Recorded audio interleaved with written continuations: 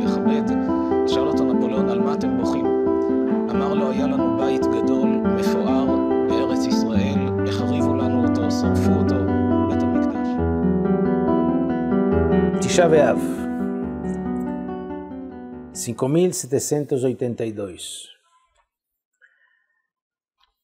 Hoje se cumplen 1954 anos da destruição do segundo Betamigdash. E ainda estamos esperando a nossa redenção. E eu quero lhe comentar hoje um pensamento e uma colocação do Hafetz Haim.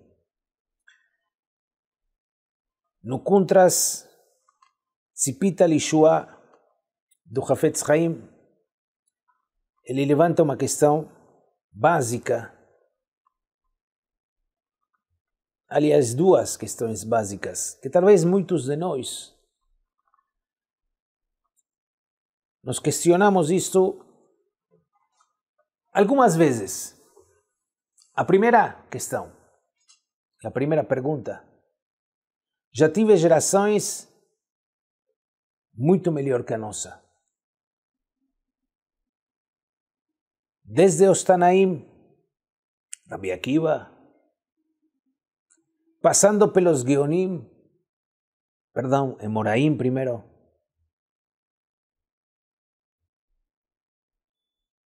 no qual o povo tinha um nível espiritual elevadíssimo.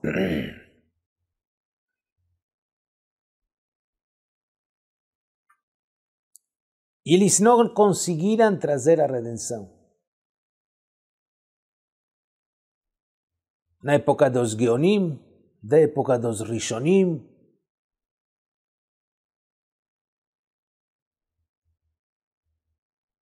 os judeus na Espanha, os judeus em Marrocos, os Baleatos Fot, na Alemanha, em França. E todos eles não conseguiram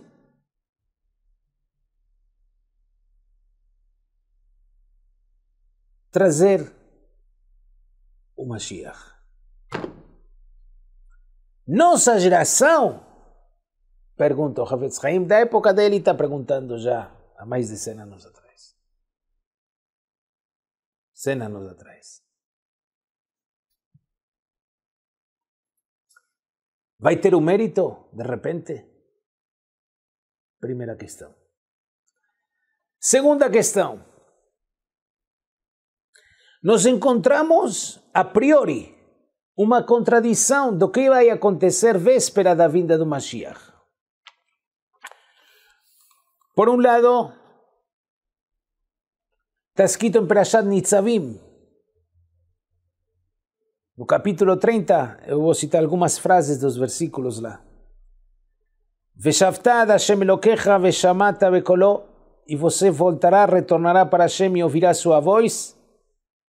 Veshav Hashem Elokecha et shibutecha virechamecha, e Hashem vai devolver você vai se apiedar de você,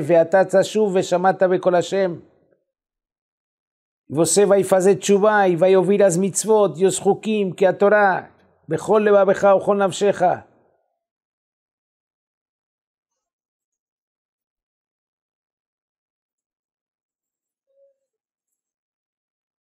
Y ainda, ve allá que Yahweh eleja Abraha Beaclalá, continuó el versículo falando.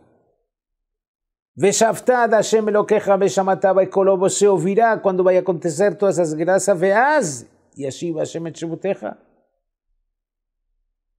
E como diz o Ramban, que vésperas da vinda do Mashiach, vai ter um retorno e vai ter chuva de Am Israel para Hashem, em direção a Hashem.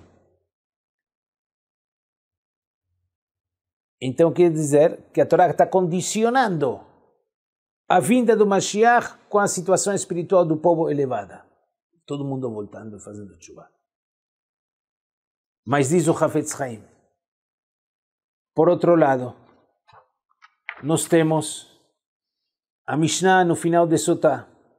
E como está escrito também em Sanedrin, Masechet Sotá, página 49, e em Sanedrin 97. Beikva de Meshicha, antes de vir o Mashiach, just paisge, assim vergonha vai estar no povo, vento jajá, e não tem repreensão. Nearim penes kenim albino, os jovens vão envergonhar os mais anciãos. Ben Menabel Av, um filho desobedece o pai. Bat Kama Beimá, uma filha contra sua mãe.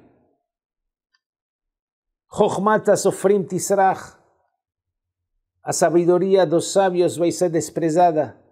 Virei a Nim Asu, e as pessoas tementes a Hashem vai ser desprezados.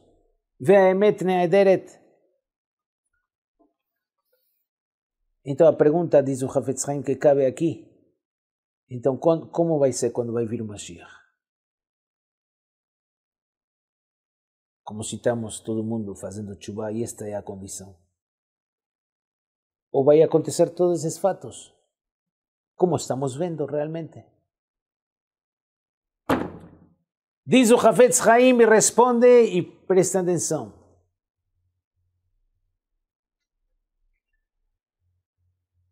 O que me parece, diz o Hafetz Haim,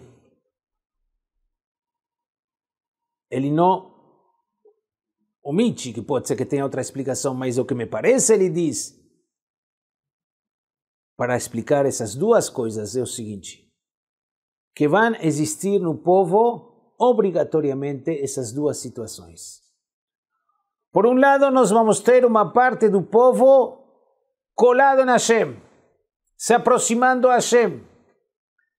E apesar de não serem respeitados como merecem, e às vezes sofrendo situações econômicas, tendo que pagar mais pelo kasher, tendo que pagar mais pelo hinuch, tem que mandar seus filhos a estudar fora, longe de casa, para que eles sejam Talmidei Hamim e estudem Torá e sejam bons Yehudim, vai ter um grupo de pessoas que vai se aferrar a Kadosh Baruch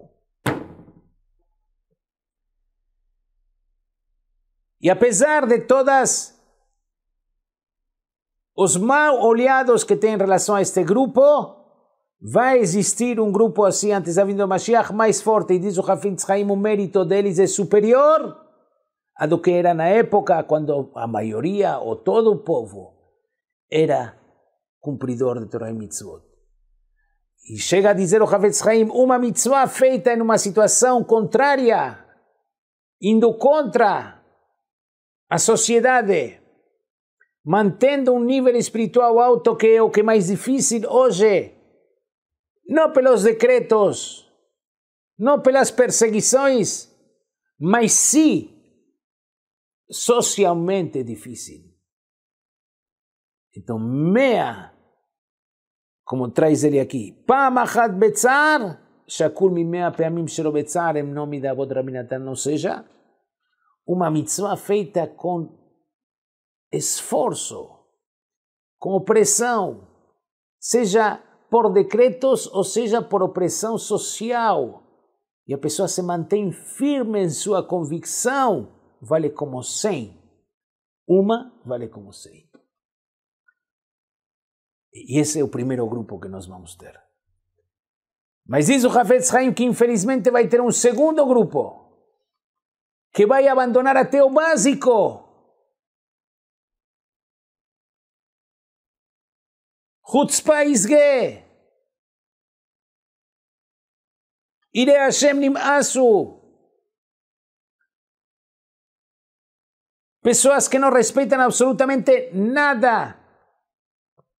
Ao contrário, eles têm vergonha de se mostrarem Yehudim vai existir esse grupo também antes da vinda do Mashiach. E os dois grupos são obrigatórios. Essa é a conclusão, em poucas palavras, que o Hafetz Haim diz.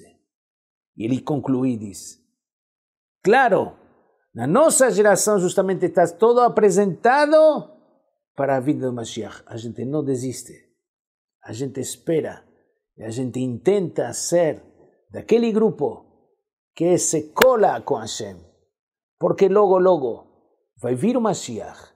Logo, logo, quem está do outro lado vai quiser passar para este time e não vai conseguir. Acabou. Fechou o relógio. Minuto 90. Acabou o jogo. Agora, a decisão é sua. Você a que grupo quer pertencer? Você quer pertencer àquele grupo que ele está colado na Hashem, que está esperançoso, metzapé, tzipita lishua, esperando que em qualquer momento bata na porta e o Mashiach está chegando e ouvir o som do shofar, ou você está no outro grupo, que infelizmente não vai estar feliz quando o Mashiach vai chegar. Então, motivo, momento de reflexão agora em Tisha B'Av, fortalecer a nossa fé na vinda do Mashiach. São 1954 anos, já está terminando o tempo. Logo, logo, Hashem vai mandar essa redenção para nós, com toda essa glória e todo esse esforço que a gente faz para se manter firme junto com a Hu. Nós vamos ir de cabeça erguida na frente da Hashem e dizer, Ribono Olam, apesar de todas as perseguições durante as gerações, e hoje, apesar de não ter perseguição física, mas tem perseguição social, tem perseguição moral, tem essa pressão para a pessoa não ser respeitoso com as Torá e as mitzvot, a gente fez, a gente cumpriu, a gente se mantém y estamos aquí aguardando, esperanzosos para que en cualquier momento se cumpla todas las profecías que están escritas sobre este momento. Reflexão do Hafetz Haim.